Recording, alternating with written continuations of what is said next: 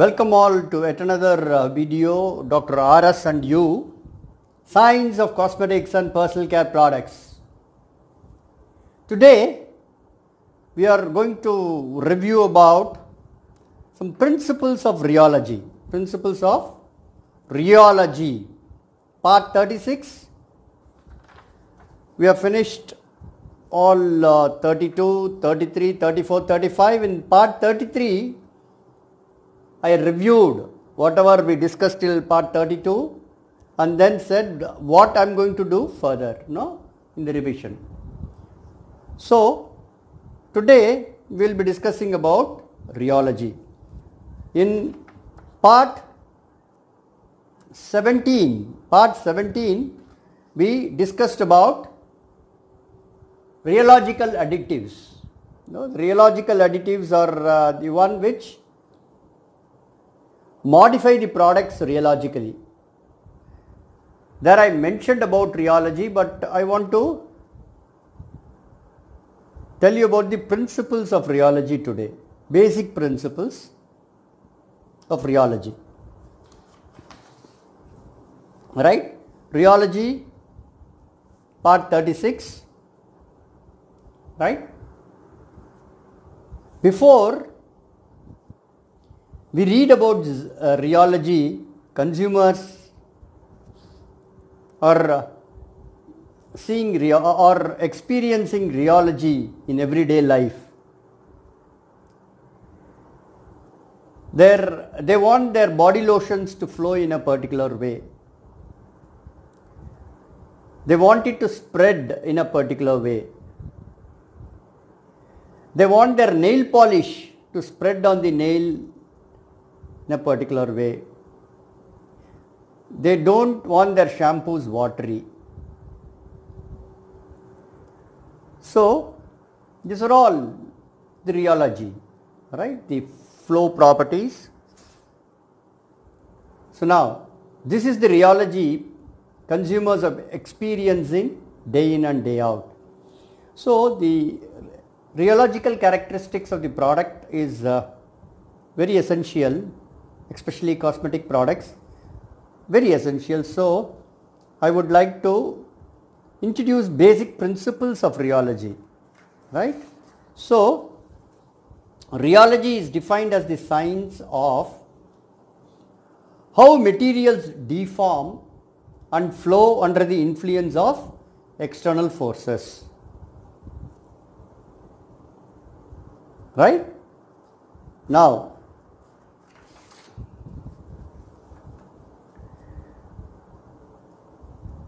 see there is a layer many layers of fluid right? Now force applied to the top layer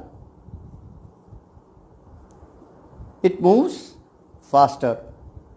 Viscosity is a resistant to flow resistance to flow right? The force applied on the layer which is very near to the force move to a greater distance than the other layers the gradient right? So the force is applied here. So viscosity of a liquid resists the shear of trying to move a plate across a liquid surface. This results in velocity gradient from non-moving close to the bottom of the plate to moving with a velocity near the top of the plate. Okay. So, there is a basically velocity gradient.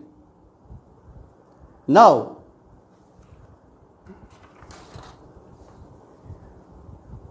the term viscosity. Okay. The external force applied over a certain area is typically called as shear stress. The force is called shear stress and is measured in the units Newton per meter square or Pascal. Newton per meter square or Pascal. When the shear stress is applied, the force exerted causes movement of the material, right? The material which is very close to the force moves fastest and the material further away from the force move slow. Therefore, a velocity gradient is set in. Therefore, a velocity gradient is set in. This velocity gradient is called shear rate. This velocity gradient is measured as shear rate and it is meter per second per meter. So, meter per second divided by meter. So, meter per second into 1 by meter meter. So, per second is the unit for shear rate. Shear rate unit is per second, right? Shear stress pascals, right? So, shear rate is per second. This is how it is arrived per second because it is meters per second per meter. Meters per second divided by meter that is per second. Right? The ratio of the force applied to the movement achieved, shear stress to shear rate is defined as viscosity. Right? So, shear stress to shear rate is the viscosity. What is the unit for shear stress? Pascals. What is the unit for uh, shear rate per second? So, shear stress 1 by S that is equal to Pascal seconds. So, viscosity unit for viscosity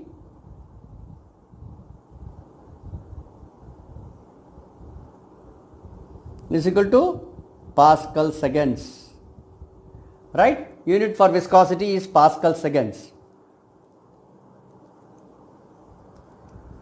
right? Viscosity is measured in Pascal seconds in international system of units or traditionally in poise. Okay? 1 pascal second is 10 poise and 1 millipascal second is 1 centipoise right this is how viscosity is measured this is what viscosity is shear stress to shear rate right now this is a graph which shows the viscosity profile of two products on shear rate. It's sheared, right?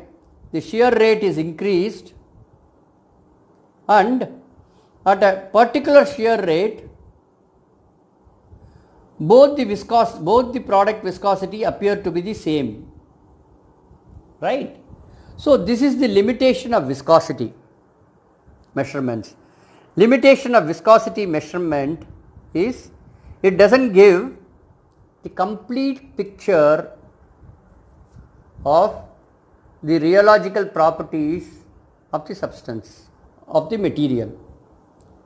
So that is why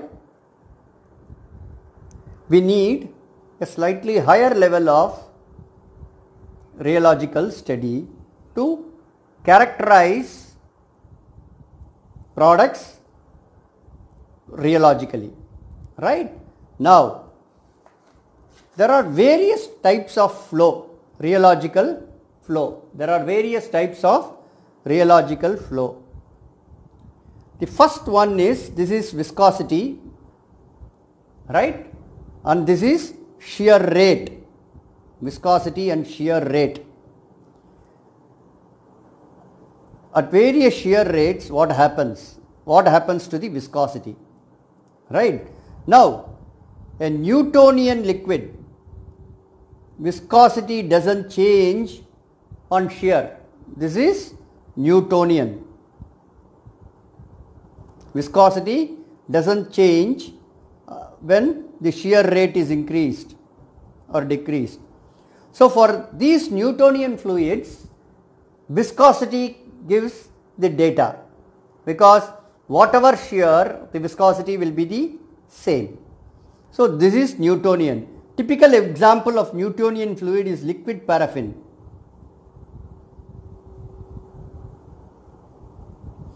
And water. There are at another two types of flow called the this is plastic flow and pseudoplastic flow. What are these flow? Plastic flow and uh, what is the difference between these two? Both reduce viscosity is reduced on shear right. When the shear rate is increased, viscosity is reduced both for pseudoplastic and plastic fluids. But plastic fluids starts flowing or start the viscosity start dropping or starts flowing only after a certain level of shear is given right only after a certain level of shear stress, right? Only after a certain level of shear stress, the product starts flowing, right? That we will see, right? That part of shear stress is called the yield point, the yield point which I will come in the next graph. So, plastic fluids have the yield point, pseudoplastic fluids doesn't have the yield point. Typical example, I will tell you the example which you experience daily, tomato sauce.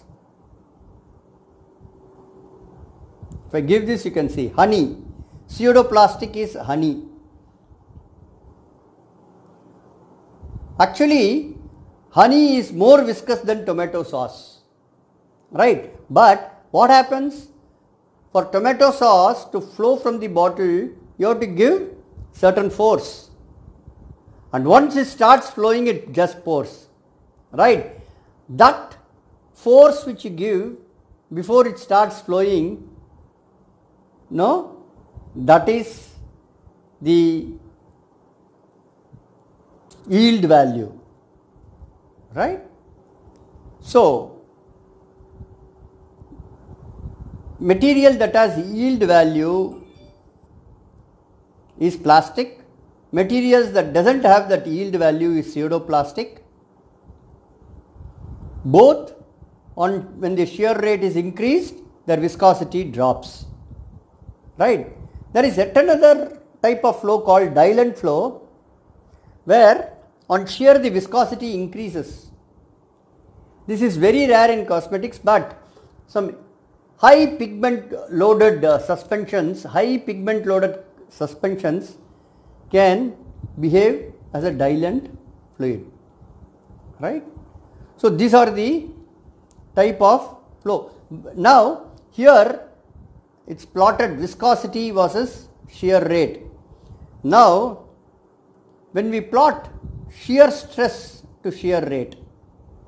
Shear stress to shear rate, it will be much more clearer. Here, this is Newtonian fluid where the ratio remains the same, so the viscosity doesn't change at all, right? This is Newtonian. This is plastic fluid where it needs certain shear stress before it starts flowing viscosity drops right this is called the yield yield value okay pseudoplastic fluid has negligible yield value it just flows. This is pseudoplastic. This is dilatant fluid which the viscosity increases when the shear rate is increased. Most of the cosmetic products fall under plastic, right? They have certain yield point before they flow. See, some of the hair oils can behave Newtonian. Some of the hair oils can behave Newtonian. Hair oil can be Newtonian. Most of the creams and lotions and lipsticks, nail polish, all those things will have an yield value before they flow. Right? Uh, this is the type of flow. Right? Now, yet another parameter that is described is called thixotropy. Okay, what is thixotropy? Thixotropy is a structured system with little shear, the structure breaks and starts flowing and keeping for some time the structure regains. See, this is the structured system after shaking it breaks, it starts flowing and after resting it reforms. Right? This is very important because we want a product that stabilizes. We have a suspended particle or yes, suspended in emulsions and suspensions, right? So, a structured system stabilizes the suspended particles, okay, or the suspended phase. At the same time, it should not be so thick that it doesn't flow or it doesn't spread evenly on the skin. So, thixotropy helps because on rest it, it is thick, but with little shear it starts flowing and of course it flows from the container and it also spreads evenly on the skin right. So, that is thixotropy is a very important aspect. So, shear stress, shear rate, okay, how the thixotropic fluid, this is the yield value, then what happens? Shear rate is increased to certain level and brought back to 0 and brought back to 0 immediately, increased and brought back. So, what happens? The flow pattern is different. This is the called the thixotropic loop and this is the thixotropic area. Okay, this is the thixotropic area and this is the thing where st structural breakdown okay on shear on shear okay. So this what happened? This is thixotropy thixotropic material uh, thixotropic uh, product will behave like this. It has a yield yield value and it has a specific thixotropic loop. And this is structural breakdown. But here when you keep this product for some time it regains its structure. Right? This is what? And this structural breakdown on little shear helps for the product with little shaking to flow from the container and also spread evenly. So, this is thixotropy. So, now we have seen the type of flow, we, we have seen what is thixotropy.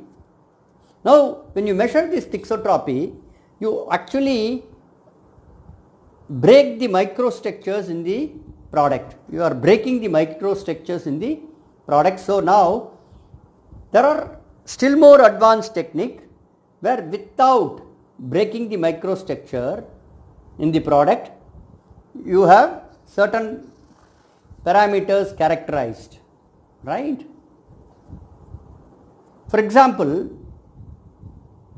a rheometer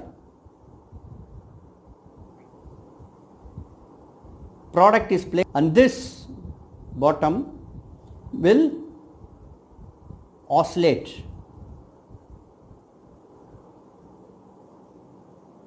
This is called the oscillation rheometer.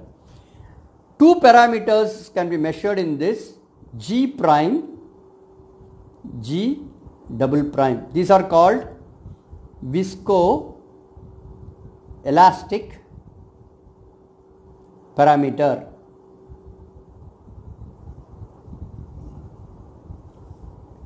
G prime is elastic modulus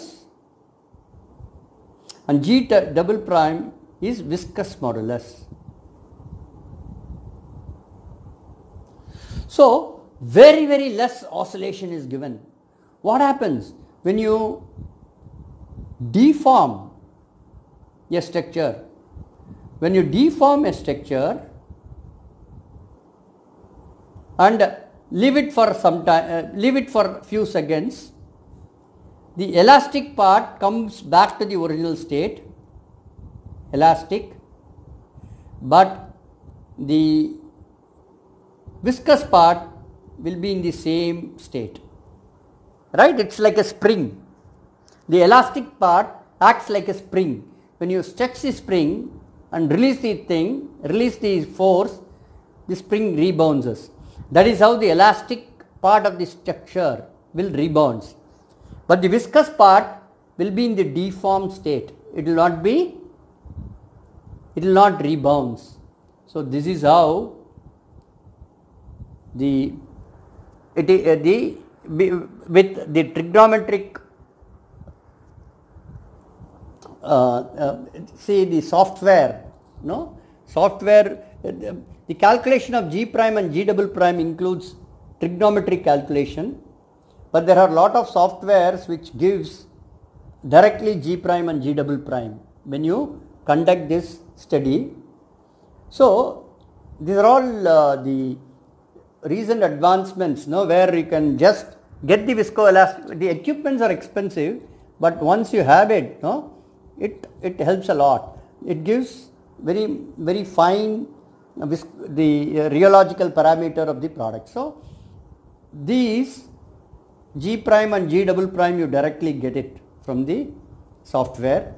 So, you need not calculate using trigonometry now. No, so, it's, it's, it's there. So, G prime is the elastic part of the uh, structure and G double prime is the viscous part of the structure.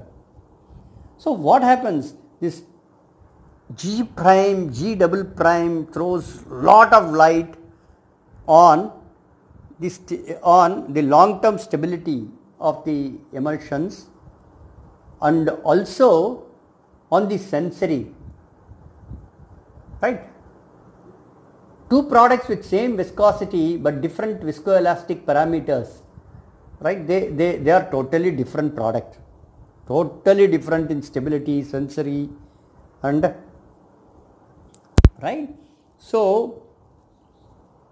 viscoelastic parameters are other great uh, tool in rheology to characterize the rheological parameter of a product this is the, this is how uh, frequency in radian per second. This is the angular velocity, right? And G prime and G double prime. Okay.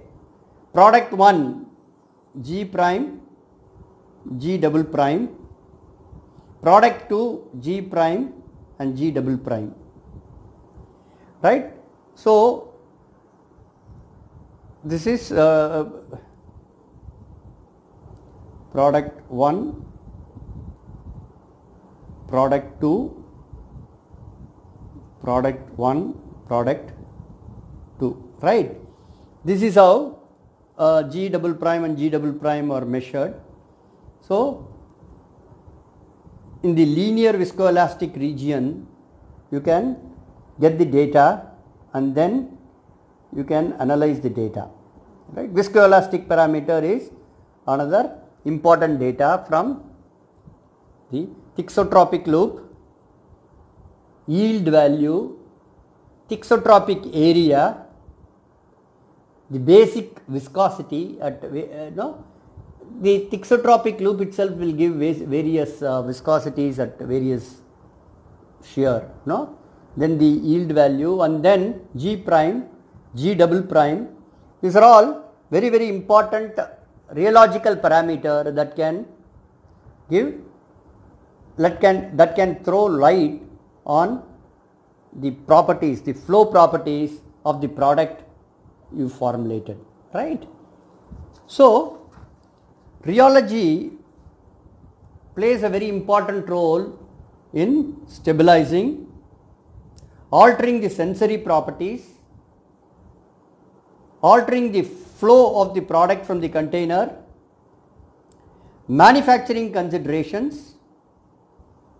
For example, if you are making a oil, hair oil which is which has a Newtonian flow, the type of mixers can be very preliminary type of propeller mixers. But if you are going to make a highly plastic formula toothpaste, it needs a very high shear mixer and of course the transfer pipes and the filling lines. So, to the engineering team, the rheological profile of the product has to be defined fully to use appropriate equipments for manufacturing and filling, right? So, manufacturing consideration and of course packaging design, right? So, these are all very important for, these are all the imp important uh, uh, aspects that is thrown by uh, rheological knowledge of the product, right? So, What are the tools to measure rheological parameter? The basic tool is viscometer and the advanced tool is rheometer. This is a setup of a typical Brookfield viscometer. Brookfield is the make of the viscometer. This is the fluid where it has to be, the viscosity has to be checked. This is the viscosity it gives digitally at, the spindle is rotating at 100 rpm, right? So you can adjust the RPM. There are various spindles can, that can be used. Okay. So, right. So it's a typical picture of a standard uh, rheometer.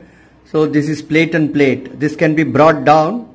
The sample kept in between this and this and it can be a oscillatory rheometer or it's a rotational rheometry so this can be connected to a computer and uh, you can get all the details. The uh, software is inbuilt.